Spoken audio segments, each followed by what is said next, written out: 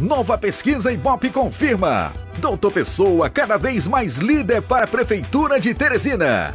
Doutor Pessoa subiu de 34% para 37% das intenções de voto. O segundo colocado tem 22%.